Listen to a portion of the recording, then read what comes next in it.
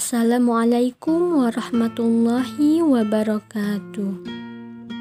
Selamat pagi, selamat siang, selamat sore, dan selamat malam untuk teman-teman di mana pun berada yang sedang menyaksikan video ini. Sampurasun Sadayana Dalam kesempatan kali ini, di dalam video ini, akan membahas mengenai salah satu candi yang berada di daerah Karawang yang juga merupakan salah satu candi kebanggaan warga Karawang yakni Candi Jiwa. Selamat menyaksikan ya. Semoga bermanfaat dan semakin menambah wawasan kita semua.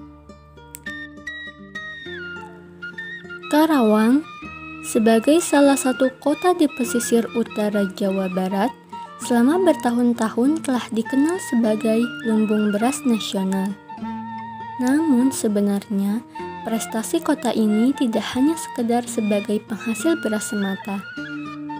Dalam perkembangannya, ternyata Karawang juga menyimpan potensi sumber daya arkeologi dan juga sejarah yang sangat besar sejak masa prasejarah, klasik, bahkan sampai pada masa Islam tumbuh dan berkembang di Jawa Barat.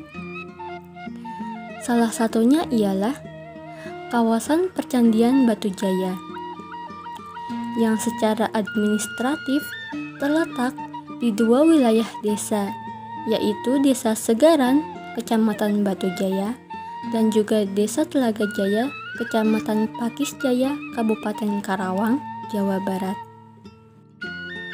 Salah satu candi yang ditemukan di kompleks percandian Batu Jaya ini ialah Candi Jiwa. Candi Jiwa ini terletak di Desa Segaran, Kecamatan Batu Jaya, Kabupaten Karawang, Jawa Barat. Candi Jiwa merupakan salah satu candi peninggalan agama Buddha yang bahkan menurut beberapa sumber umurnya diprediksi lebih tua daripada Candi Borobudur di Magelang.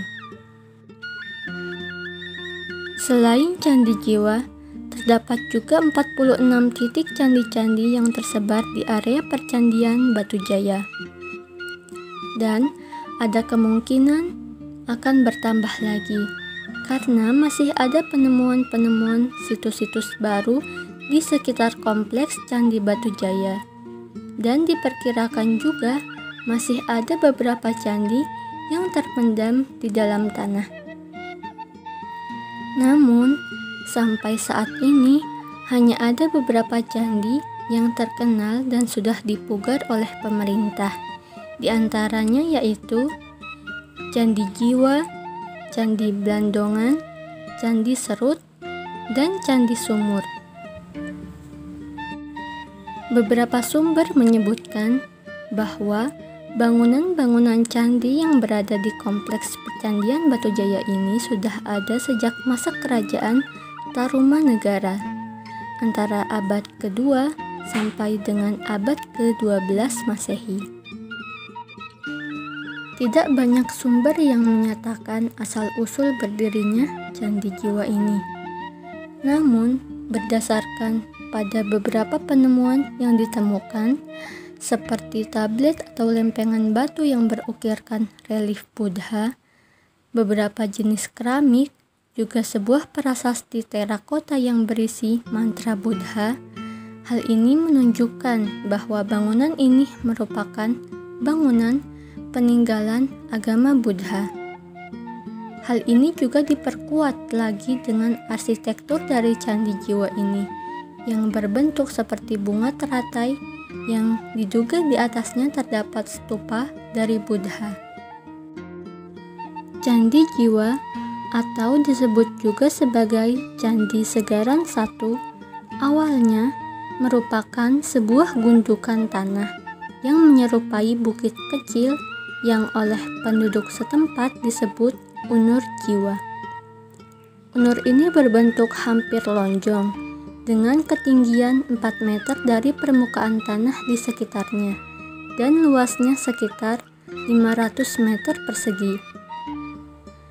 Unur jiwa ini semula digarap oleh penduduk setempat sebagai lahan pertanian yang ditanami pohon pisang dan palawija.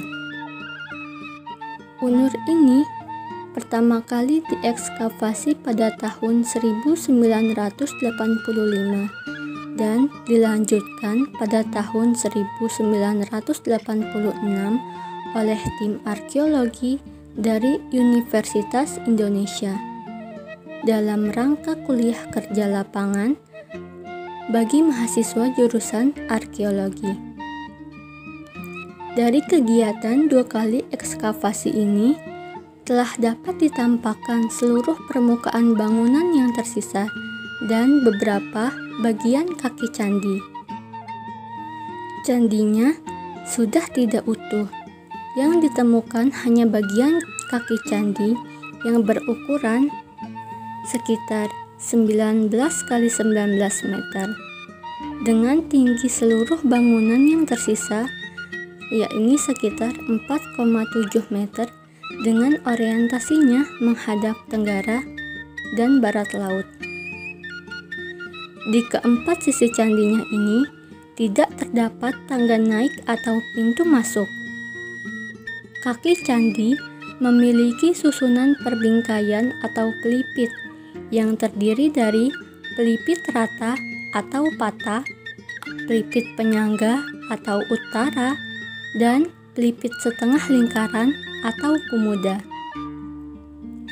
Dari bagian atas bangunan yang tersisa, tampak susunan pasangan bata yang melingkar dengan diameter sekitar 6 meter.